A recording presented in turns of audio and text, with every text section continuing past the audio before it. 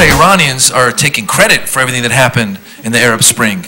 I have cousins, Mars, we started it in 2009. With the Green Movement, we started it.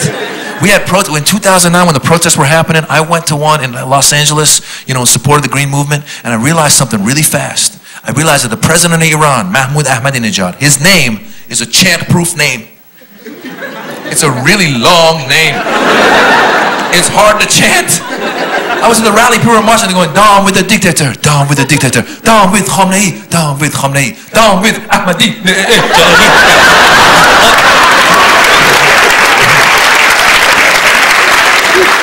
name is too long. But Eugene Iranians were resourceful. We took the name Ahmadinejad, cut it in half to Ahmadi. And then we took the words bye-bye and we Iranianized it. What I mean by that, we slowed it down. So bye-bye became bye-bye. Bye-bye. So the chant, the chant in the rally became Ahmadi boy boy, Ahmadi boy boy, Ahmadi boy boy, Ahmadi boy boy, Ahmadi boy boy, Yeah, it was crazy. Went from a rally to a party just like that.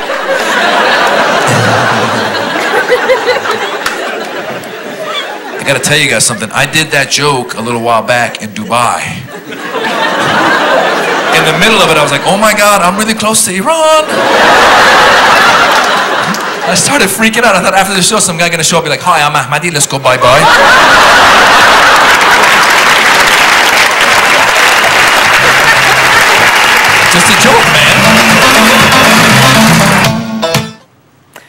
درود فراوان به شما عزیزان. به برنامه ندای درون خوش آمدید. من دکتر فوجان زینی هستم روانشناس و این برنامه راجع به مسائل روانشناسی و اجتماعی و مخصوصا گفتگویی با هنرمندان عزیز که شما خود اونها رو بشناسین. فکر کنم دیگه حد زدین که دوست عزیزی جناب آقای ماز جبرانی که کمدین هستن و بازیگر هستن لطف کردن و دعوت من رو قبول کردن. خوش آمدید. مرسی دکتر زینی. خیلی ممنون که ما رو دعوت کردین. بعد از این مدتی تونستیم اسکیجولمون رو با هم دیگه اه، اه، اه، جور کنیم. کنیم جور کنیم که بیایم پلاتون بشینیم. خیلی خوشحالم. می‌دونم که خیلی خیلی سرتون شلوغه و برنامه های هم کامدی دارین استنداپ کامدی جای مختلف دارین که یکیش هم داره همین جمعه میاد 23 23 جمعه آره در اوگورا هیلز بله بله. حالا برای شما عزیزان بازم راجع به صحبت می‌کنیم. فقط قلم و خودکاراتون رو بردارین که وقتی میگیم بتونین که بنویسین فوری.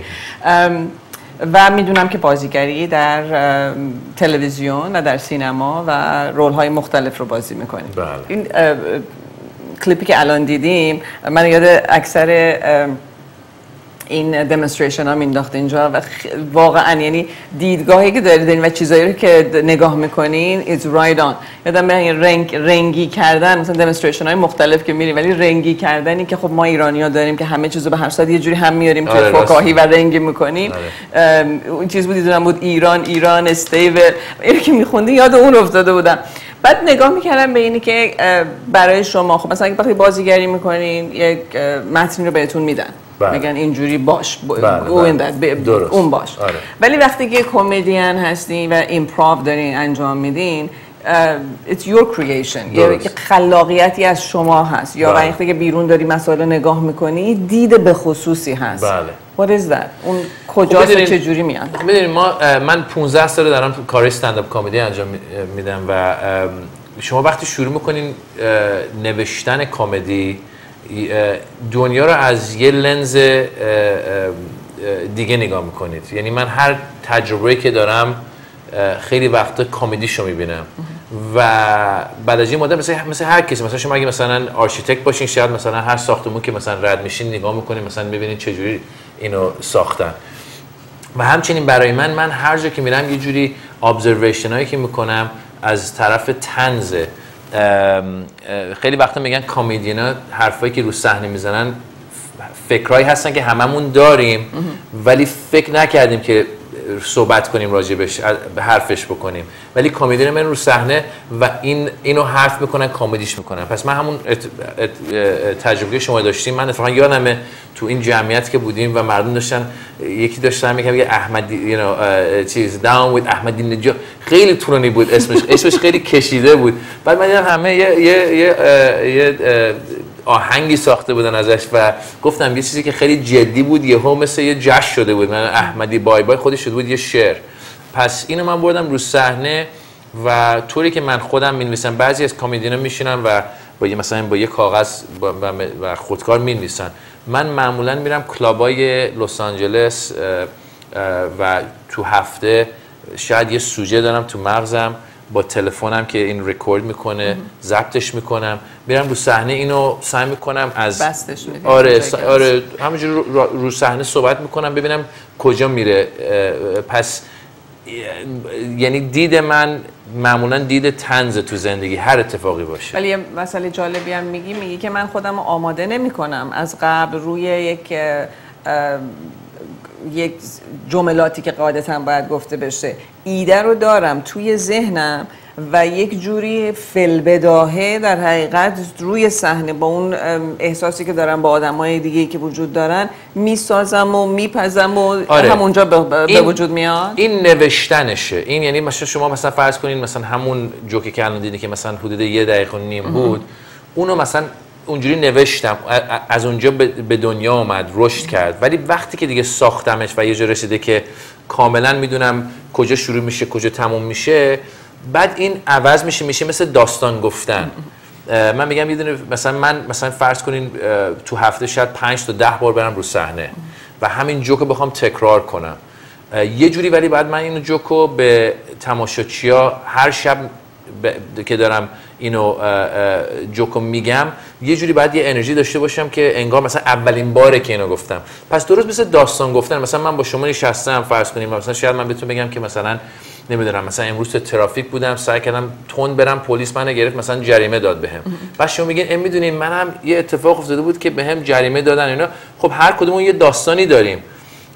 پس وقتی رو صحنه هستین انگار نشستین با یه چند تا از دوستاتون دارین داستانا رو دوباره تکرار می‌کنید. و برای کمدین بعضی مردم نمی‌دونن. فکر می‌کنن که هر شب که میرن مثلا قراره هر شب یه یه متریال جدید داشته باشن. چرا؟ چون که خیلی وقت ما عادت کردیم که تو آمریکا که تلویزیون می‌بینیم جی لنو دیوید لترمن اینا هر شب یه مونولوگ جدید دارن. خب اینا هم 20 تا نویسنده بله. دارن. همین که سوژه های روز رو دارن همین که ویدیو دارن خیلی چیزای مختلف دارن. ولی کامیدینا که تور می‌کنن برنامه زنده می‌ذارن ما حدودا مثلا بین 6 ماه تا یک سال طول می‌کشه که یک ساعت کامل بتونیم بنویسیم و بعد اینو می‌بریم به شهرهای مختلف. با این تور می‌کنیم و بعد از یه مدتی اینو می‌ذاریم روی یه ویدیو جدید. پخشش می‌کنیم به تلویزیون و باز با جوکای ش- تازه شروع می‌کنیم پس همیشه این فشار هست رومون که هی چیزای جدید بنویسیم هی و مخصوصا این روزا که یوتیوب هم که هست مردم شاید یه کلیپ رو بگیرن سری بزنن رو یوتیوب. خب از یه طرف خوبه چون که پخش میشه. پخش میشه تماشاچی بیشتر شما رو می‌بینن. ولی از یه طرف هم بده چون که شاید شما یه جوک جدید نوشتین بلا فاصله همه دیدنش. دیگه پس- جدید نیست. آره و می‌دونید جوک گفتن فرق جو... من من خیلی وقت میگم کاش که من musician بودم. چون که musician وقتی آه، آهنگ می‌نویسه وقتی میره تور مردم می‌خوان همون آهنگا رو صد قدیمی رو بار- بشنون. قدیمی رو بشنون. اگه یه musician سعی کنه چیز جدید بزنه مردم ناراحت میشن. Right. کمدین فرق داره. کمدین هر دفعه که اولین بار که شما جوکو بشنوین اگه فکرشو بکنین اون بهترین بهترین بارشه.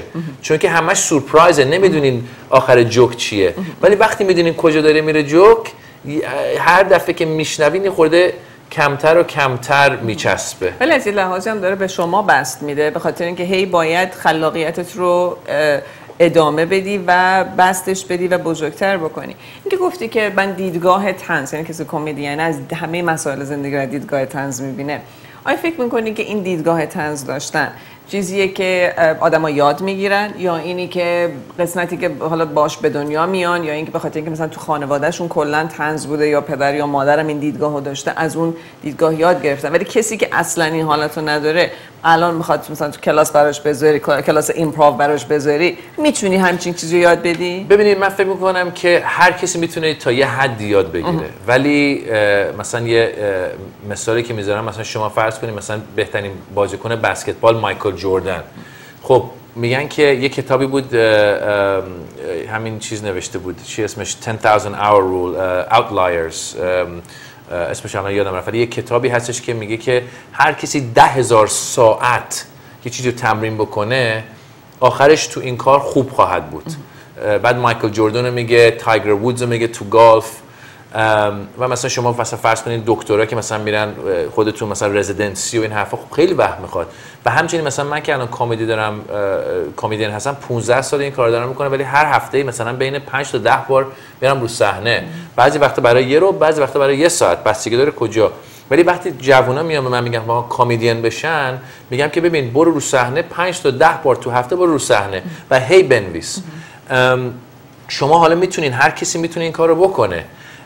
ولی فکر می‌کنم تا یه حدی هم یه چیزایی هستش که شاید مثلا دو نفر رو بگیرین هر کدومشون ده هزار ساعت بذارن یکیشون میشه مایکل جوردن یکیشون میشه کسی که مثلا کارش خوبه ولی به حد اون نیست. یعنی یه نچرال سنسی بس خود طرف باید وجود داشته باشه که بعد با یادگیری که انجام میده اون استعداد به خصوصی رو ارائه بده. 100 درصد. می‌دونی من خود من از بچگی می‌دونی من 6 سالگی اومدم آمریکا و فکر می‌کنم که از وقتی که اومدم آمریکا هم ورزشکار بودم پس این ورزشکاری و بازی, بازی کردن کمک کرد که من دوستای جدید پیدا کنم. همین که دوست داشتم شوخی کنم فکر کنم اونم تا یه حدی یه مکانیزم بودش که برای دوست پیدا کردن. و فکر می‌کنم از بچگی من همه چی و مثلا من کلاس که بودم بعضی وقتا اصلا من مامانم ریپورت کاردای چیز بچ... کلاس دبستانی را برده بود. مثلا خیلیشون نوشته بودن که مثلا این پتانسیال درس خوندن داره ولی زیاد حرف می‌زنه. من گفتم خب از بچگی داره هی حرف می‌زنه. یعنی همینجوری. و یادمه خیلی وقتا معلمان می‌گفتن آقا پسر خوبی هستی چرا انقدر حرف می‌زنی؟ من دوست داشتم مثلا یه خورده مثلا مسخره بازی در بیارم از بچگی. یه پس... راهی که بودش که توجه خیلی مثبتی داشتی می‌گرفتی از اون راه. آره آره نه چقدر خوب فارسی صحبت می‌کنه برای کسی که 6 سالگی اومده اینجا. خب تو خونه تو خانواده ما با مام بابا و پدر بزرگم با اون زندگی می‌کردم مادر بزرگ برای مدتی با اون زندگی می‌کرد. پس فارسی خیلی باشون صحبت کردیم. متاسفانه نوشتن و خوندنم خیلی خوب نیست. ولی صحبت کردنم نسبتا خوبه. و در گروه امریکایی ها و کلا اونطور شروع کردی. بعد تازه من می‌بینم یواش یواش در قسمت های ایرانی یا شوهای ایرانی یا مجالسی که برای مخصوصا خیلی مجالسی که برای non-profit organization ها هستن داری میای. چی شد که این علاقه دوباره پیش اومد؟ چون می‌دونم در سان فرانسیسکو بزرگ شدی و بله. کارت هم از همونجا تقریبا شروع کردی بعد دیگه خب you're going worldwide. چی شد که دوباره تصمیم گرفتی اصلا وارد کمیونیتی ایرانی بشی و خدمتی به این کمیونیتی؟ نه من هیچ وقت اصلا فکری که مثلا کجا برم و اینا نداشتم. من می‌دونم از آمریکا بزرگ شدم. از دوازده سالگی در دوازده سالم بود که ادی مرفی رو دیدم. و عاشق ادی مرفی شدم و گفتم که من می‌خوام مثل این کمدین بشم و اینا و از دوازده سالگی شروع کردم توی مدرسم تئاتر بازی کنم. تئاتر کمدی و میوزیکال و اینا. پس همش به زبون انگلیسی بود. و خیلی راحت شدم با ریتم کمدی تو زبون انگلیسی. و اتفاقا من وقتی که شروع کردم در لس آنجلس شروع کردم یه کلاس گرفتم. باز انگلیسی بود. وقتی stand-up comedy شروع کردم می‌رفتم club ای مختلف انگلیسی برنامه اجرا می‌کردم و تماشاچی ها همیشه میکس بودن. یعنی ایرونی کم بود چون من کسی نمیشناخت. و من تا, تا امروزم وقتی برنامه اجرا می‌کنم به زبون انگلیسی اجرا می‌کنم. اتفاقا بعضی از دوستان از مثلا آلمان تماس گرفتن که آقا چرا نمی آلمان؟ و میگم خب من دلم می‌خواد بیام آلمان ولی یه جا باید برم که نه فقط ایرونیا ولی کسانی که اونجا زندگی می‌کنن انگلیسیشون تا یه حدی خوب باشه که کمدی آمریکایی رو بفهمن. و یه جایی هستن سراسر دنیا مثلا در سوئد و نروژ و مثلا این اسپشیالی که شما دیدین تلویزیونی اون تو سوئد ضبط شده بود. سوئدیا میگن که انگلیسیشون خیلی خوبه چون که وقتی فیلم های انگلیسی آمریکایی می‌بینن به زبون انگلیسی می‌بینن فقط subtitle داره ولی مثلا وقتی فیلمایی که اینجا مثلا میره به آلمان یا ایتالیا یا به فرانسه اونا رو دوبلش می‌کنن. پس به این دلیل من خیلی دوستان ایرانی گفتن آقا بیا برنامه اجرا کن و میگم خب برنامه من به فارسی نیست. بعد میگن خب ترجمه کن به فارسی بگو. ولی نمیشه ترجمه کرد. مثل وقتی شما دیدیم مثلا بعضی وقتا مثلا من کتاب خوندم به انگلیسی که مثلا سعدی یا حافظ و مثلا یا خیام مثلا ترجمه کردن. تا یه حدی می‌فهمیم ولی اون شیرینی حرفشون از بین میره. بعد کلماتیه که برای صورت فرهنگیه مثل مثلا ما جوکای و لطیفای ایرانی و فارسی رو که می‌خوایم تبدیل کنیم به انگلیسی همونجور نمیشینه. چون کلمات با یه فرهنگ به خصوص میاد و یه ریتم به خصوص میاد که توی ترجمه همون مخصوصا برای کمدی حالا ممکنه برای درامایی مسائل جدی باشه. من خودم وقتی که میرم مثلا lecture میدم جای مختلف دارم صحبت می‌کنم ممکن حالا یه تنزی یه چیزی هم بندازم. هر وقتم که این تنز رو مثلا انجام بدم و نگیره و flop بکنه تق بخوره زمین حداقل پشتش کلی مسائل جدی روانشناسیه که فوری میرم تو اون role مسائل جدی روانشناسی انجام میدم. مطمئنم که گهگداری هم جوک هایی هستش که لطیفه های هستش که داری میگی و اون خنده ای که دلت می‌خواد نمی‌گیره و میفته روی استیج اون لحظه چه اتفاقی برات میفته و بعد چه جوری خودتو جمع می‌کنی دوباره که برگردی و می‌دونی اون کراود رو نگه داری برای قسمت های بعدی؟ خب منم مثل که باید یه چیزای جدی و روانشناسی پشتش داشته باشم. نه می‌دونین یه چیزی که اولا ببخشید. اون می‌خواستم اون سوال قبلیتونم یه, یه, یه چیز آخری بهش بگم یه نقطه که خیلی وقتم تماشاچی برنامه که من اجرا می‌کنم این برنامه هم که شاید مثل یه- یه, برنامه مثلا charity ایرانی هم باشه ولی تماشاچی همیشه mixed ان. پس یه دونه دلایل دیگه هم که من به, انگلیسی ادامه میدم اینه که من تماشاچی همیشه mix mix ان و من ترجیح میدم که تماشا می... تماشاچی میکس داشته باشم. حالا راجع به این چیزی که مثلا بعضی وقتا یه جوکی میگی و کار نمی‌کنی می‌دونی من میگم که ببینید شما اگر قبول کنین که نو... نو... نوشتن یه آرت فرمیه می‌بینین که اولین بار که چیزی بنویسین همیشه بهترین نیست. اینو باید هی مثل. بپذیش آره. و مثل مثلا انگار یه نقاشیه. من خودم با نقاشی کردن خیلی نقاشیم بده. یعنی اصلا بلد نیستم چیزی اصلا شما بگی مثلا یه چیز ساده بیا, بیا بکش من بلد نیستم. ولی مثلا می‌بینم بعضی وقتا با آرتیست که صحبت می‌کنم مثلا یارو میگه مثلا من یه سال طول کشید که این مثلا اینو رنگش کنم. خب من میگم کمدی هم همین جوریه مثلا شما انگار یه یه دونه تابلو سفید رو گرفتین هر شب که میان یه رنگ جدید میندازین بهش. بعضی وقتا رنگا می‌خوره بعضی وقتا نمی‌خوره. پس خوبیش اینه که وقتی شما می‌دونین که قراره مثلا من بعضی شبا دو سه بار میرم رو صحنه.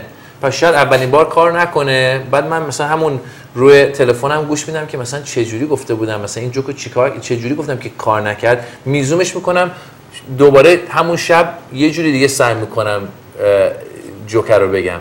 بقای جوکای جدید و قدیمی و مثلا اونی که هنوز یه ذره خامه بعد پخته ها رو میکس می‌کنی که بعد اینو بتونی. اگه یک دونش افتاد فوری بتونی برگردونی. صد درصد. می‌دونی یه دونه از secret های کمدی یعنی گوش بدین آد آره. secret ها رو دارن میگن. secret. یه دونه از secret های نوشتن کمدی. اینه که شما اگه می‌خواین برین رو صحنه مثلا ببین ما وقتی من وقتی تو لس آنجلس یا نیویورک مثلا برنامه اجرا می‌کنم اینا یه club ایی هستن که تو یه شب مثلا 6 7 تا کمدین میاد. هر کدوممون فی- 15 تا 20 دقیقه جوک میگیم. وقتی من تور می‌کنم club ای بزرگتر یک ساعت اجرا می‌کنم و headlining میشه اون.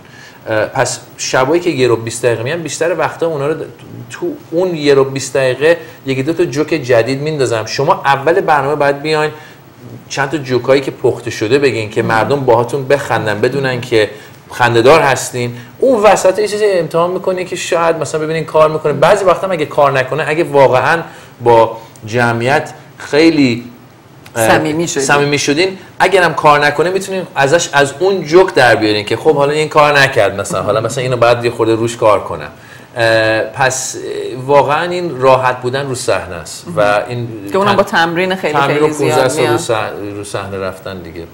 یکی از مواردی که داشتم وقتی کار شما نگاه می‌کردم اینه که خیلی از کارها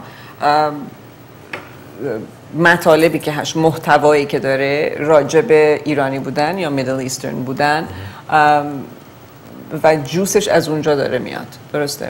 خب چون هویت به اونجا ربط پیدا میشه و شناختی هست و بعدم ممکنه که جالب باشه برای گروهی که میکس هستن و هر کسی بهش ربط پیدا بکنه. آیا از خود فرهنگ امریکایی هم توش میاد یا اینکه آیا مثلا شده جایی که فقط ethnic بوده این مبحث؟ اه، برای یک audience ی که مثلا امریکایی بوده نچسبیده یا اشکالی براش به وجود آورده؟ خیلی جالب. می‌دونید من اولا که وقتی اون کلاس رو که 15 سال پیش گرفتم یه حرفی که این خانم زد گفتش که و یه کتابی هست اگه دوستان واقعا علاقمند هستن که مثلا برن رو صحنه و اینه کتاب این خانم نوشته بود به نام The Comedy Bible. اسم خانم هستش جودی کارتر. این بعد نوشته تو کتاب که مثلا راجع به چه چیزایی جوک بگین و بنویسید. اولین کلاسی گرفته بودیم این گفت این خانم میگفتش که راجع به چیزایی که خودتون خوب می‌شناسین صحبت کنین. پس تجربتون چی بوده؟ بزرگ شدن تو آمریکا چی بوده؟ منم گفتم من با یه فامیل ایرانی تو آمریکا بزرگ شدم و این خودش خیلی سوژه مختلف داشته بوده. چون من می‌دیدم فرق من با دوستام که آمریکایی بودن. مثلا مثلا یادم یه دونه از دوستای آمریکایی مادرش داشت بهش سرش داد می‌زد. این جواب مادرش رو داد. منم مثلا شوکه بودم که این مادرم میگه مثلا اینو کتک می‌زنه. ولی هیچ اتفاقی نیفتاد. و برای من خیلی جالب بود. چون ما خونمون مثلا یه حرفی بزنیم تموم بود. چون که خب فرهنگ فرق می‌کنه. پس اینا باعث میشه که شما می‌تونید ببینید که نقطه های فرق بین ما و آمریکایی چیه و تجربه خودم چی بوده. من یاد گرفتم که خب جلوی مثلا شما شاید جلوی تماشاچیایی که مثلا شاید یه گروه باشه که ایرانی باشه و هندی باشه و عرب باشه و مکزیکی باشه و خیلی immigrant زیاد باشه. شما این جوکا رو بعضی وقتا که میگین هممون یه تجربه داشتیم. immigrant ها خیلی تجربهمون خیلی شبیه. شبیه. ولی مثلا من یه بار رفته بودم کنزاس سیتی تماشاچی همه آمریکایی بودن. بعضی سفید پوست بعضی سیاه پوست ولی آمریکایی آمریکایی. پس وقتی جلو اونا بودم یاد گرفتم که بعد با جوکایی که اینا یه جوری جوکا رو باید بگم که اینا بفهمن چیز تجربه چی بوده. یعنی چی؟ یعنی شما باید مثلا شاید باید یه جمله اضافه کنین اول برنامه که مثلا مثلا شاید بگین مثلا اول جوک بگین که مثلا مثلا دوستای سفید پوستم با مامان باباشون صحبت می‌کنن اینجوری. دوستا ماها ایرونی ها مثلا بیشتر مثل مادرای سیاپوست هستن که بچه رو می‌زنن. مثلا اینو براشون ریلیت می‌کنین بعد میرین تو جوک همه می‌فهمن چیه. پس اینو باید یه خورده یه جمله یکی دو تا جمله اولش اضافه می‌کنین و و اینجوری جوکو میگیم. و در ضمن من تازگی می‌دونید شما هرچی بیشتر رشد می‌کنید تو کامدی راجع به تجربه خودتون صحبت می‌کنید. پس من تازگی وقتی دوستان میان شو می‌بینم من خیلی وقتا راجع به پدر بودن صحبت می‌کنم. حالا چون که دو تا بچه یه دونه دو ساله یه پنج ساله دارم. پس اصلا جوکا راجع به ایرونی بودن نیست. راجع به پدر بودن شده.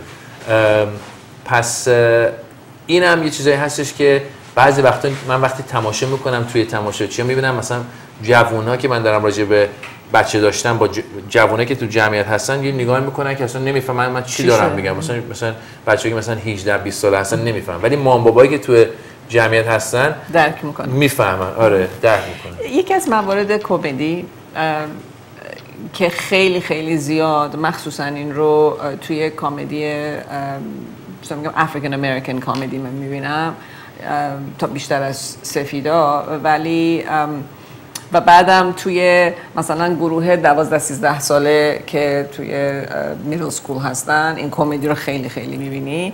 اونم کمدیه که حتما باید تو سر یه نفر بزنی. یه نفر باید تحقیر کنی کوچیکش کنی یا پروفانیتی استفاده کنی فحش بدی توش که مثلا کل اون سکچ میشه یا داری کسی رو تحقیر می‌کنی یا داری فوشش میدی.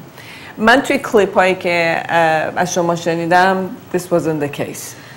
آره می‌دونی من خودم وقتی شروع کردم هیچ وقت سعی نکردم مثلا فوش ندم و اینا. مثلا بعضی وقتا تو شبان که مثلا دارین تمرین کن... تمرین کنین تمرین می‌کنین بعضی وقتا مثلا یه فوشای شاید در بیاد. ولی من رو هم اصلش اون نیست. آره خیلی کم. چون می‌دونی من دیدم که آخه ببینید بعضی وقتا بعضی کمدین مخصوصا جوانترا فکر می‌کنن که اگه یه فوش بذارن تهش خندهدار میشه. ولی می‌بینی که نه این واقعیت نداره. مثلا شما ولی وقتی مثلا کسایی بودن مثل ریچارد پرایر و ادی مرفی فوش زیاد می‌دادن. ولی هر جمله یه دونه آره. F word توشه. آره. ولی بعضی وقتا این این فوشی که می‌دادن واقعا کمک می‌کرد جوکشونه. یعنی اینا واقعا تشدید داشت. آرتیست فوش شدن. شده. واقعا واقعا. ولی خود من یاد گرفتم مثلا با بعضی از جوانم صحبت کردم. مثلا یه پسره بوده یه پسر مصری آمریکایی هی فوش می‌داد. بهش گفتم ببین جوکات خنده داره فوشا رو لازم نداری.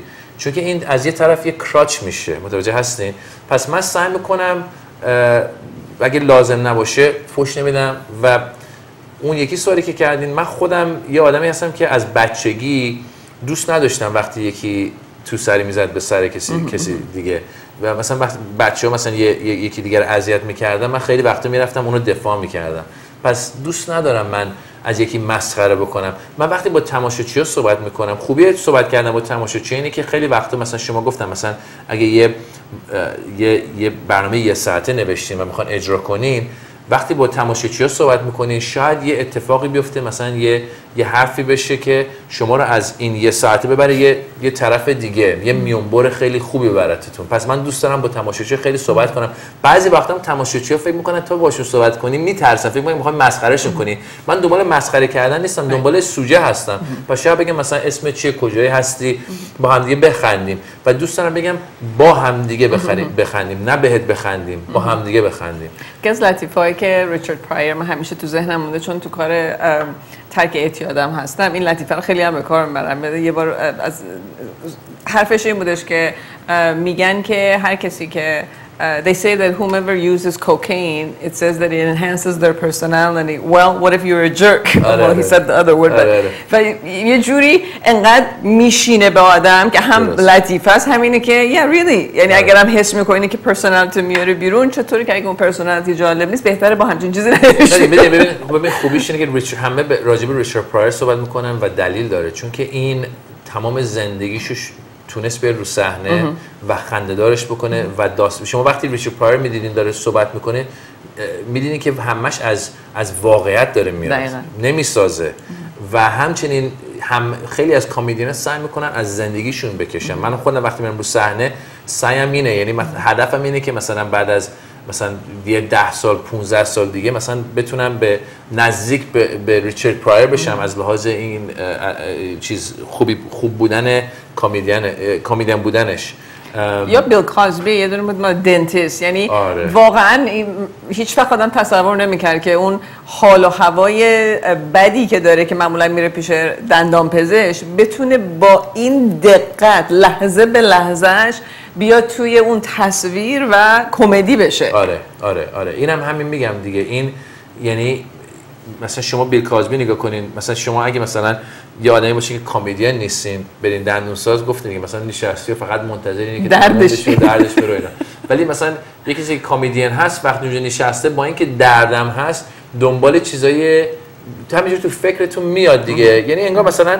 درست مثل می‌دونید من چی میگم؟ مثلا کمدی کمدین بودن مثل مثل که مثلا شما یه ورزشکار هستین و ورزشکارا مثلا اینا که میرن جیم هفته 5 6 بار میرن هی ورزش می‌کنن و دنبل می‌زنن عضلاشون بزرگ میشه. همچنین شما با استنداپ کمدی فکرتون رشد می‌کنه تا اینکه یه جا باشین که اصلا نچرالی هر جا که هستین چیزای کمدی می‌بینید و همچنین بیل کازبی حتما رفته بود این تجربه رو داشته بود یا مثلا با دوستاش صحبت کرده و یه جوری این این comedy bit ساخته که الان دیگه کلاسیکه اون. Absolutely کلاسیک خب دوستان بنویسین بعد دوباره براتون میگم. Agora Hills Canyon Club. Um, next Friday August 23rd چه ساعتی؟ فکر کنم ساعت 8 برنامه. 8 شب. آدرساش هم می‌تونید برید mazjobrani.com همه اینا رو بتونید بگیرید کسی که تو ساکرامنتو هستین Punch Line September 6th and 7th 8 8 Irvine Improv September 19 and 22nd 8 8 شاید هفت و من باشه بریم وبسایت همش آره www.mazjobrani.com میریم به پیام های بازرگانی می‌رسیم و دوباره با شما خواهیم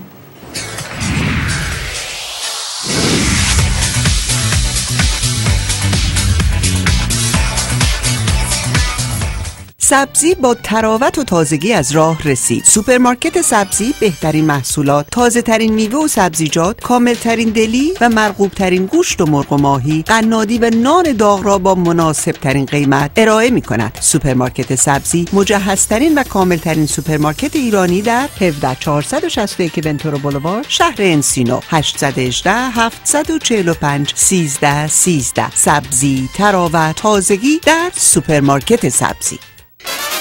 خانم ها آقایان یک خبر خوب دارم. آغاز سفرهای بسیار راحت و خاطر انگیز پایان هفته به شهر پرهیجان لاس وگاس. با اتوبوس های دولوکس و مجهز Starline Tours یک 855 463 53 53 حرکت هر جمعه و برگشت یک شنبه از دو منطقه اناهایم و لس آنجلس. برای استفاده از قیمت استثنایی و مخصوص رفت و برگشت فقط 99 دلار.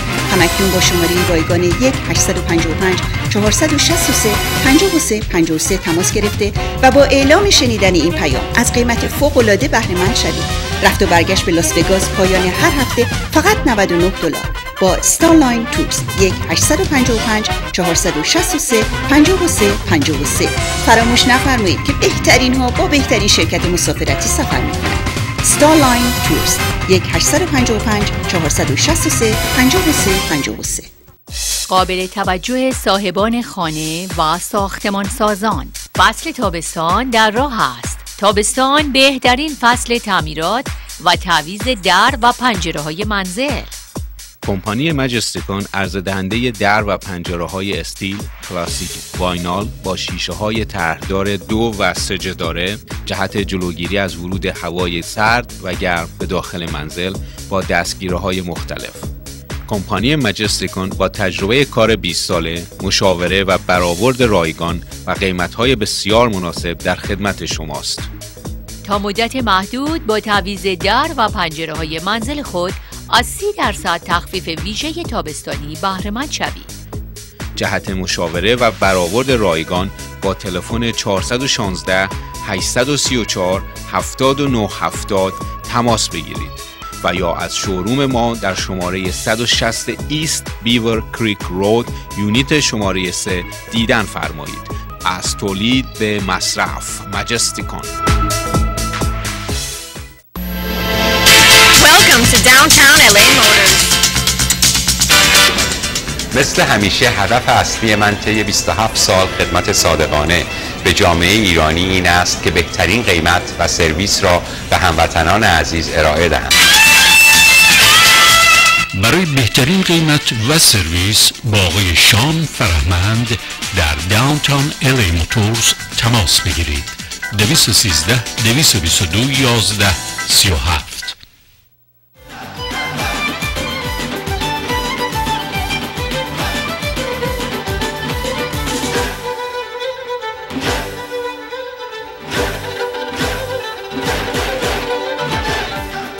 توجه توجه.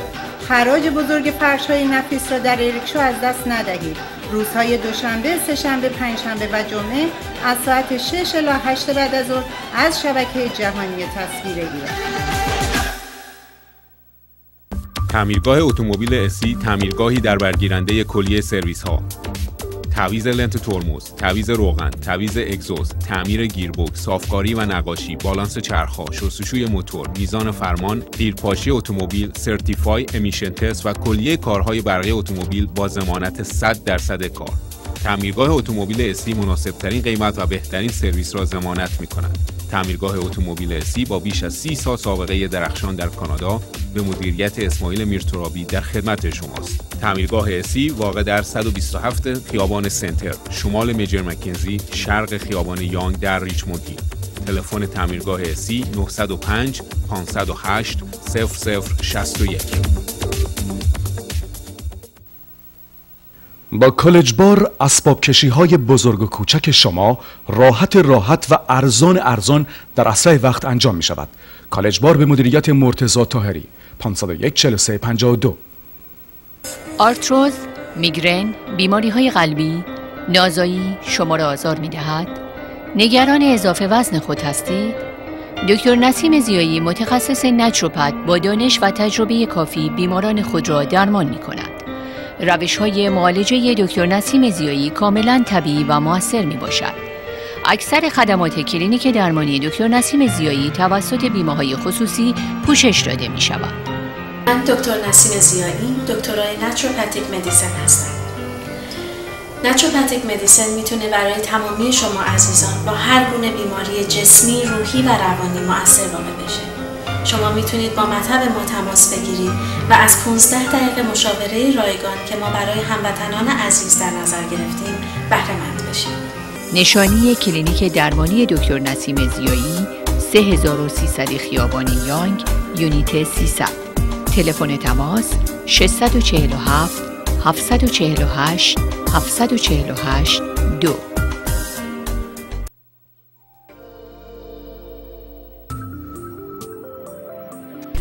خرد زندگی. مجموعه از سیدی های صوتی که شما رو به اعماق وجود خودتون می‌بره تا آرامش درون خواب آسوده رهایی از احساساتی که شما رو آزار میده و با بدن خودتون متصل می‌کنه. به زبان فارسی و انگلیسی. این مجموعه با صدای دکتر فوژان زینی شما رو هیپنوتیزم می‌کنه و کلمات تلقینی به کار رفته میشه تا شما رو سریعتر به اهداف خودتون برسونه. با موسیقی که به شما آرامش میده و با تکنیک مانو بیت.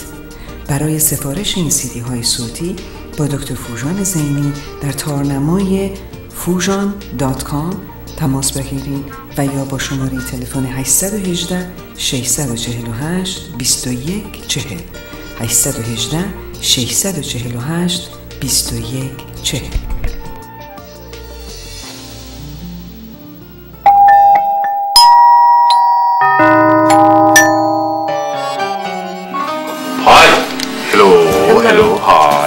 Mr. Rishperver?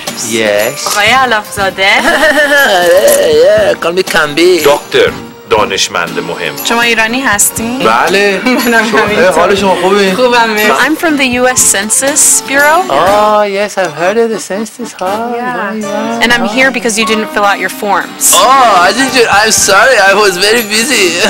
so I'm going to talk you through the questions, and when I get to the question about race, I suggest you tell me to write Iranian American or Iranian. Is there a box for Iranian American? No, no, there's no box, but I will check other and then write in Iranian American. Well, we are, we are, we are white. Just put white. There's a box for white. Technically, that's true, but that's not going to help us be counted. Oh, is there benefit? Potentially gives Iranians minority status. Persian speaking nurses. از اینجور ما زن داریم ولی خب حالا نرس ایرانی هم خوبه. And federal funding for our community. Who does this information go to? Oh, all this information is private and strictly confidential. Hmm, I don't know about that one. Okay, let's go. Uh-huh, let's do go. this. Where you want to go? go ahead. Go. I'm just joking to you. So, how many people live in this household? Zero. What's the annual income range? Zero. What's your phone number? Let me guess. zero zero zero. No. thirty one zero zero zero zero zero zero zero. Just curious, what's your favorite movie then? Zorro! sir, sir. Hi, hi, how are you? How are you? Hi, hi. Sir, okay. Last question. Oh, good. Yeah. I, I, need to sleep. yeah, you do. Um, okay, so uh, your race? Italian. They call me dottore. That's Italian for doctor. Dottore.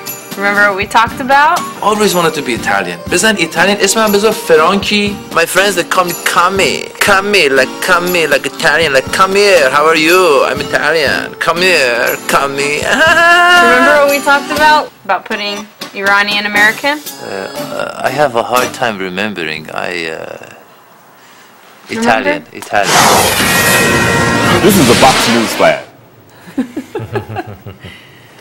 اینو برای چی درست کرده بود؟ اینو می‌دونین سال 2010 اه، هر ده سال اینا census میگن دیگه می‌خوام برن بشمرن چند تا مثلا از هر race مختلف چند تا تو آمریکا هست بعد سال 2010 خیلی از organization های مختلف ایرانی اه، اومده بودن با همدیگه همکاری کنن که ایرونی ها رو یه خود تشویق کنن که یه box هست آخر census نوشته other. اگه اینو بزنین other رو بزنین بزنین بعد بنویسین Iranian American یا Persian American بعد ما رو میشمرن و می‌بینن که مثلا بعد از مثلا یه میلیون تا یا بیشتر باشیم بهمون minority status میدن.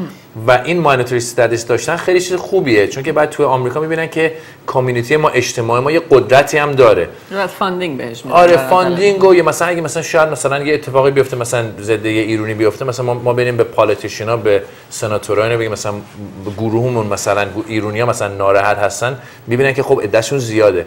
بعد مثل که سال 2000 نو- شمرده بودن که در آمریکا کامل آمریکا 380 هزار تا ایرونی هست. و من همیشه جوک میگم میگم من تو وستوود خودش 300 هزار تا هست. خلاصه دست تو دست اومدیم که همکاری کنیم که مردم رو تشویق کنیم که اینو بنویسن که ما نمرمون بره بالا. و این یه ویدیو بود که داده بودیم که مردم ببینن هم بخندن هم آخرش بدونن که این کار رو باید بکنن. و فکر کنم که مردم تا یه حدی ویدیو رو دوست داشتن چون که حدود 300 400 هزار مرتبه توی یوتیوب دیدنش بله. ولی فکر نکنم که فهمیدن پیامش چی بوده چون که اگه اشتباه نمی- نمیگم مثل که از 380 هزار تا 500 شدیم خورده. نه شدیم 300 و مثلا 20 هزار تا اصلا 60 هزار تا کم شدیم خاطر این ویدیو همه گفتن ایتالیان. ایتالیان. می‌دونین جالب چه بعضی از ایرونی ها هنوز خب خیلی ایرونی ها که جوونا که الان آمریکا بزرگ شدن می‌دونن که مهمه که ما توی اجتماع آمریکایی هم شرکت کنیم. هم از لحاظ سیاسی هم از لحاظ اجتماعی هر جور بتونیم. بعضی از ایرونی ها هنوز شک دارن. میگن آقا من نمی‌خوام مثلا یه, جوری دخالت کنم که مثلا بفهمن که من اینجا هستم و یه جوری میترسن از دولت. مسئله خود اینجام هست. مثلا من من اه، 1974 بود اومدم امریکا 13 سالم بود. بعد اومدم اینجا که اون زمان من یادمه که من وقتی رفتم مدرسه خیلی مهم بودش که ایرانی باشی. برای اینکه تا وارد می شدی می‌گفتی ایرانی هستم. همه راه رفتم گفتن او حتما پرنسی پرنسسی حتما خودت چای نفت داری حتما فامیل چای نفت داره برای اینکه جوری که انعکاس داده بودن ایرانی رو در کل میدیا همه دلشون خواست ایرانی باشن. حالا دیگه اگه افغانستانی و پاکستانی هر جان بود میون می‌گفت من ایرانی هستم می‌دونسته آره. بعد از هاستج تیکینگ دقیقا این مسئله تغییر پیدا کرد یعنی حتی بعد از سپتامبر 11 یا درست بعد از هاستج تیکینگ بودش درست. که من یادمه که تو دانشگاه میریختن میکشتن اذیت می‌کردن چاقو می‌زدن از اون زمان من یادمه که ایرانی ها تغییر پیدا کردن. وقتی که سرشون رو بالا می‌گرفتن می‌گفتن من ایرانی هستم به خاطر احساس خطری که می‌کردن دیگه شده بودن ایتالیایی و و هر جای دیگه ای رو که می‌تونستن حداقل بگن که من مال اونجام اینو می‌گفتن که حد آزار نبینن. که خب بعد دیگه هی ادامه پیدا کرد این مسئله با بقیه مسائل دنیا و تروریستا و هزار تا چیز دیگه هم که بهمون بستن این هم هست یعنی فقط مسئله خود ایرانیا میترسن از اون مملکت نبود بلکه از خود اینجا و کسایی آره. که دور و برش بودن. من تو. آریزونا بودم پر از redneck بود. sure. همه داشتن عوض می‌کردن. حرفتون درسته می‌دونی من میگم سه تا اتفاق بود. یکی همین hostage بوده یکی سپتامبر 11 بوده یکی هم فیلم Not Without My Daughter بوده. Yes. که اون سه تا که در اون مثلا فیلمی که در اومده بود ایران گفتم خب مثلا من ایرانی هستم Persian هستم یا ایتالیا هستم. که راه حرفتون درسته. ولی من میگم الان دیگه یه یه دنیایی هستش که ما باید شمرده بشیم و اگه مردم ببینن که عده‌مون زیاد هست برای هممون خوب خوبه دقیقاً. تو این کشور. و فکر می‌کنم وقتش هست که تو تمام این موقعیت ها. و role ای مختلف رو قبول کنیم تو سیا... کار سیاست شرکت کنیم تو کارهای فیلم و تلویزیونی شرکت کنیم تو همه جا. چون که ما از یه طرف business خیلی می‌کنیم. دکتر زیاد داریم وکیل زیاد داریم.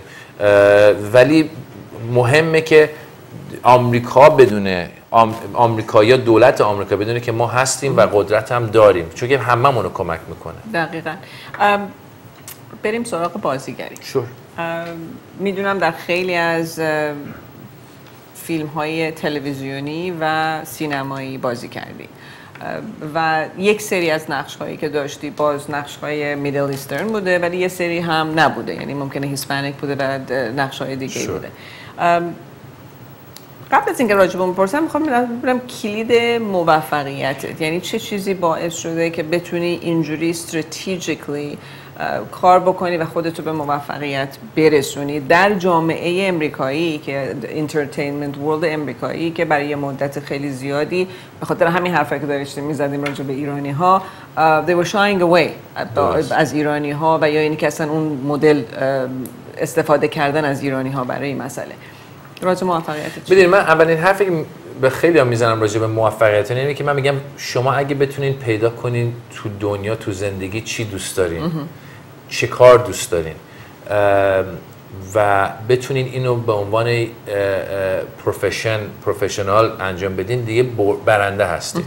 یکی به من گفتش که شما تو این اجتماع هالیوود که خودتو موفق می‌شناسی یا کی خودتو موفق شناختی؟ گفتم روزی که تصمیم گرفتم این کارو بکنم پروفشنالی موفق بودم. بعد از اون دیگه همش بونس بوده. و می‌دونی من خودم خب بزرگ شدن تو فامیل ایرانی اصلا خودش مام بابا من جنگیدن تا من به اینجا رسیدم. چون که اونا اول به من گفتن که دکتر بعد بشی؟ آره بعد وکیل قرار بود وکیل بشم من. ولی ولی من از 12 سالگی شروع کردم تئاتر بازی کردن و من شمال کالیفرنیا نزدیکای سان فرانسیسکو بزرگ شدم. و high school یه program خیلی خوبی داشتیم. معلم high school هم گفتش که تو اینو می‌تونی به عنوان professional انجام بدی. من نمی‌دونستم مثلا معنیش چیه. بعد که دانشگاه که رفتم UC Berkeley من علوم سیاسی خوندم که بخوام باز برم وکیل باز وکیل بشم. اونجا باز یه کلاس acting گرفتم. اون معلمم گفتش که تو اینو می‌تونی professional انجام بدی. بعد تصمیم گرفتم که پروفسور بشم تو علوم سیاسی اومدم UCLA PhD رو بگیرم تو علوم سیاسی. دوباره شروع کردم رفتم چند تا تئاتر بازی کردم. دیدم که واقعا من وقتی رو صحنه هستم زنده هستم. و خارج از خودت هم داشتیم feedback رو بهت می‌داد دائم. هم به من feedback میده هم همین که زنده بود. من مثلا شما هر هر کاری باشی مثلا شاید یکی ببینی مثلا بگی نمی‌دونم عجب نقاشیش خوبه عجب مثلا ریاضیش خوبه عجب صدای خوبی داره. هر کسی می‌بینی هر کسی یه جوری اصلا ساخته شده. پس اینو باید تشویق کرد. می‌دونین خیلیا تو زندگی با ترس زندگی می‌کنن. میگن آقا نه دنبال این دنبال رویات نرو دنبال هدف بزرگت نرو. برو این کارو بکن. بک بک بکاپ داشته باش. بعد که مثلا سی سالت شد ده سالم تلاش کشیدی دکترم شدی بعد جمع کردی؟ پولاتو جمع کردی برو مثلا ویکندا مثلا برو جوک بگو یا مثلا برو نقاش شو نقاشی کن. ولی من ببینید من فکر می‌کنم که تو زندگی خب یه بار عمر می‌کنی دیگه و زندگی خودته. مام بابا درسته که میترسن برات می‌خوان که یه یه امنیت یه جوری ام- زندگی امنی داشته باشی ولی زندگی خودته. پس باید تصمیم بگیری اگه واقعا یه کاری باشه که از ته دل دوست داری. و نمیگم که همه چیو بذار کنار برو دنبالش. مثلا من با خیلی از جوانا که صحبت می‌کنم میگم آقا برو دانشگاه درستو بخون. اونجا که هستی مثلا کلاس acting هم بگیر و ببین شاید اصلا دوست نداشته باشی. بعضی مثلا می‌بینن رو تلویزیون مثلا می‌بینن که مثلا premiere هستش و مثلا هنرپیشه های معروف هستن و سراسر دنیا میچرخن میگن می‌خوام این کارو بکنن ولی مثلا شما مثلا فیلم ساختن یه فیلم رو می‌خوایم بسازی سه چهار ماه طول داره و مثلا یه صحنه مثلا 7 ساعت طول می‌کشه. یه کاری هستش که اگه واقعا دوست نداشته باشی ازش حوصلت سر میره. دقیقاً. پس من از روز اول که شروع کردم این کار انجام بدم خوشحال بودم. یه روز نبوده که من چون من وقتی از دانشگاه پی اچ دراپ اوت کردم که برم دنبال این کار هنرپیشگی یه کار گرفتم توی دفتر تبلیغات. و کارش اسیستنت بودم فقط می‌رفتم اونجا اسیستنت بودم. یادم چند بار که مثلا داشتم میرونم به کار اصلا صبح بود مثلا نه صبح بود داشتم میرونم به کار. اصلا دقت نمی‌کردم که کجا دارم میرم. همینجوری اتوماتیک رفتم می‌رفتم به کار و اصلا از رفتن به کار دوست نداشتم. اصلا دوست نداشتم که داشتم می‌رفتم به این دفتر. با خودم خوشحال نبودم. ولی الان از این 15 سال که این کار رو دارم انجام میدم یک روز نشده که من تو راه کار باشم و بگم آقا اصلا نمی‌خوام برم حوصلم سر رفته و اینا. یعنی من هر روز که میرم سر کار باشه تو استنداپ باشه تو acting خوشحال هستم. و دیگه بقیهش دست دست تا یه حدی دست خودتون هست. باید سخت کار کنید. بعد وقت رو بگذارید. مثلا من اون اوله که stand-up comedy شروع کردم هنوز کار دفتریمو داشتم. بعد می‌رفتم شبا مثلا تا یک یا یک دو نصف شب بیرون تو کلابا بودم که منتظر باشم نوبتمو یه, یه رو بذارم من برم رو صحنه. چون اول که میان که وقت ده مثلا نه و نیم ده شبو که بهتون نمیدن وقتی دوازده یک دو بهتون میدن. پس من می‌رفتم مثلا, تا یک دو صبح کمدی کلاب بودم بعد دوباره صبح می‌رفتم دفتر کار می‌کردم بعد دوباره شب برمیگشتم. پس شما باید وقت رو بگذارید بعد تلاش رو بکنید. ولی به خیلی میگم مثلا بعضی میگن که من می‌خوام هنرپیشه بشم که یه اسکار ببرم. خب میگم خب اصلا اصلا شروع نکن. چون که اسکار بردن دست خودت نیست. بله.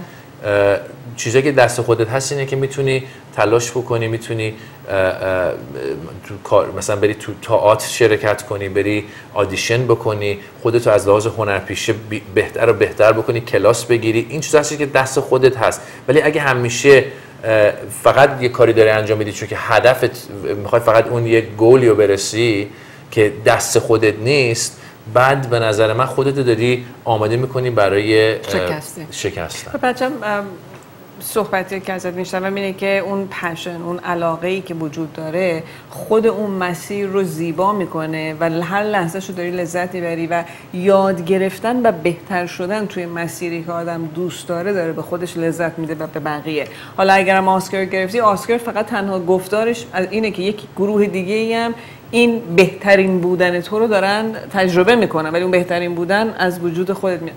دلم می‌خواد که با هم یه انیمیشنی رو که درست کردی رو ببینیم و دوباره تا چند لحظه دیگه با شما خواهیم Drove my grandfather grocery shopping. He was amazing. My grandfather could pick watermelons by flicking them. It's an amazing technique. We'd be at the grocery store, he'd be like this. No. No. Yes. I'm like, how do you know? He's like, don't worry, young Jedi. Pick it up, let's go. We'd go home, open it up, sweetest watermelon in the world. But I never learned. So I just go to Ralph's now and pretend, make sure people are watching. I'm like, hey, how you doing? What's going on? Yeah. Watch this. No. I don't think so. Yes. Take it home, open it up, run. Try and return it. They're like, you can't return an open watermelon, sir. Like, but I flicked it. It didn't work. What am I supposed to do?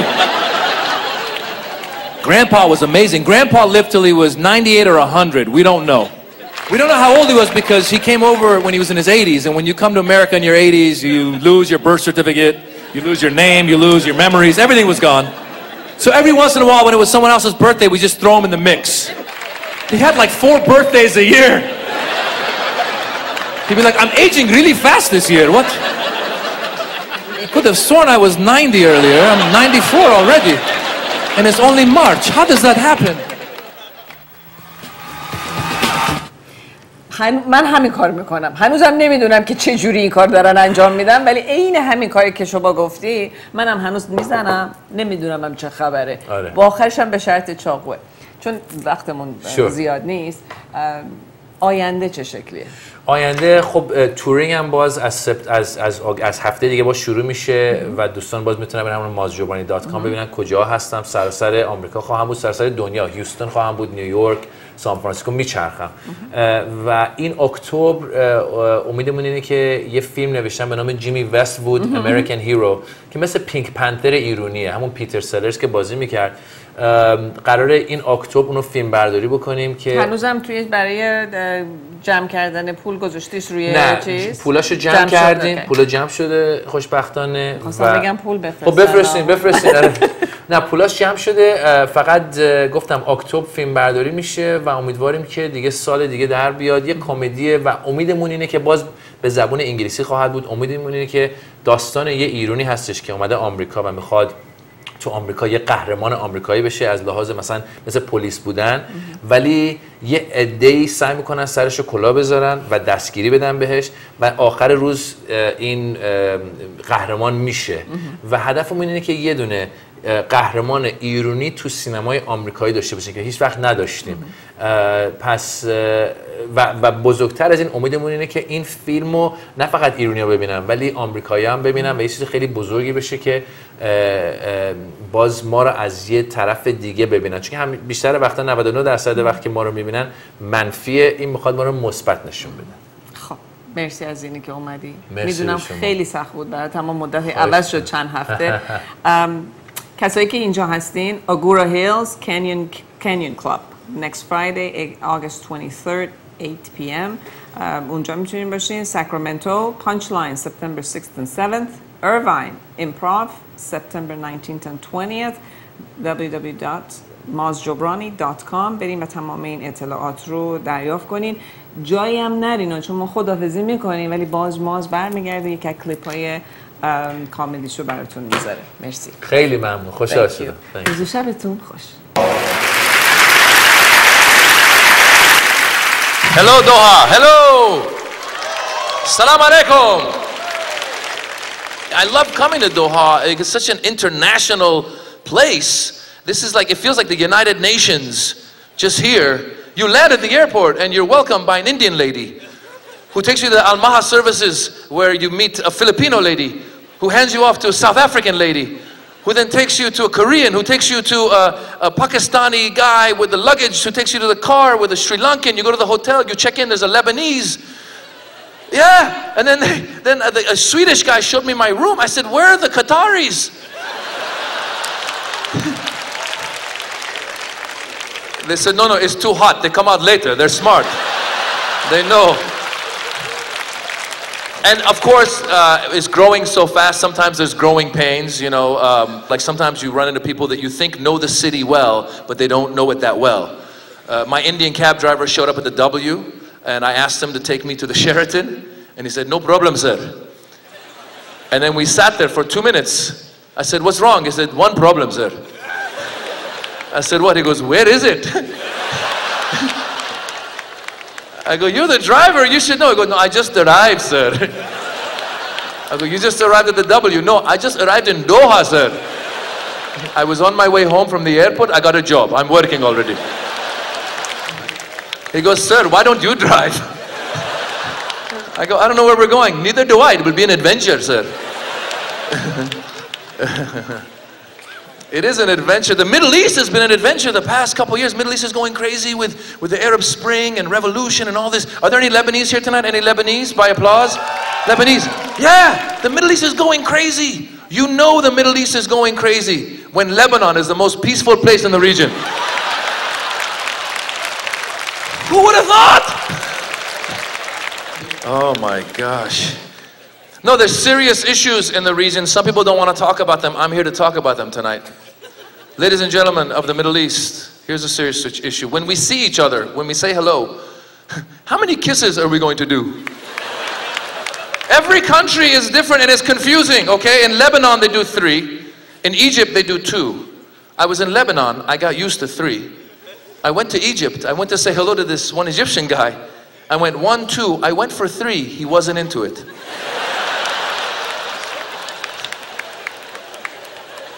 I told him, I said, no, no, no, I was just in Lebanon. He goes, I don't care where you are. You stay where you are, please. You stay where you are. Habibi, stay. I went to Saudi Arabia. Saudi Arabia, they go one, two, and then they stay on the same side. Three, four, five, six, seven, eight, nine, ten, eleven, twelve, thirteen, fourteen, fifteen, sixteen, seventeen. Next time you see a Saudi, look closer. They're just a little bit tilted. Abdullah, you okay? Yeah, I was saying hello for half an hour. I'm gonna be all right. Qataris, you guys do the nose to nose. Why is that? Are you too tired to go all the way around? Habibi, it's so hot. Just come here for a second. Say hello. Hello, Habibi. Just don't move. Just stay there, please. I need to rest. Every country, Iranians, sometimes we do two, sometimes we do three. A friend of mine explained to me before the 79 revolution, it was two. After the revolution, three. So with Iranians, you can tell whose side the person's on based on the number of kisses they give you. Yeah, if you go one, two, three, I can't believe you support this regime. Three kisses. but no, guys, really, it is exciting to be here. And like I said, you guys are doing a lot uh, culturally, uh, you know, and it's amazing. And it helps change the image of the Middle East in the West. Like a lot of Americans don't know a lot about us, about the Middle East. I'm Iranian and American. I'm there. I know that, that you know, I've traveled here. There's so much we laugh, right? People don't know we laugh. When I did the Axis Evil comedy tour, it came out on Comedy Central. I went online to see what people were saying about it. I ended up on a conservative website. One guy wrote another guy said, I never knew these people laughed.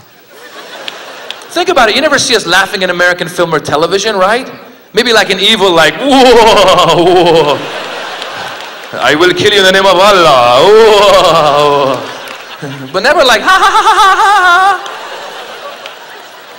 We like to laugh. We like to celebrate life. And I wish more Americans would travel here. I always encourage my friends to travel, see the Middle East. There's so much to see, so many good people. And it's vice versa. And it helps uh, uh, stop problems of, of, of, misunderstanding and stereotypes of happening. For example, I don't know if you heard about this. Uh, a little while ago in the US, there was a Muslim family walking down the aisle of an airplane talking about the safest place to sit on the plane. Some passengers overheard them, somehow misconstrued that as terrorist talk got them kicked off the plane.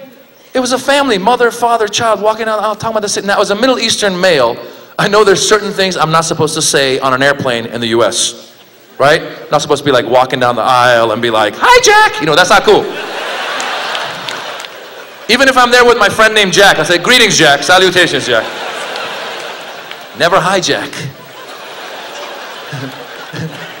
but, but now apparently we can't even talk about the safest place to sit on an airplane. So my advice to all my Middle Eastern friends and Muslim friends and anyone who looks Middle Eastern or Muslim, so to, you know, Indians and Latinos, everyone, if you're brown.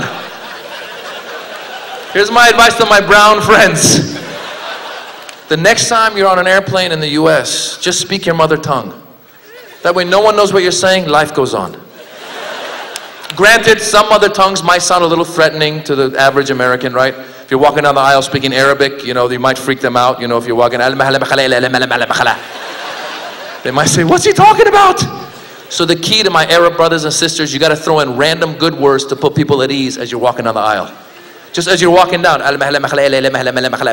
strawberry.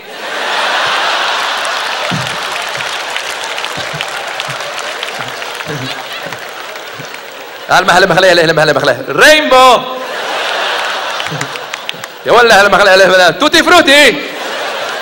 I think he's going to hijack the plane with some ice cream. Thank you very much. Have a good night. Thank you, Ken.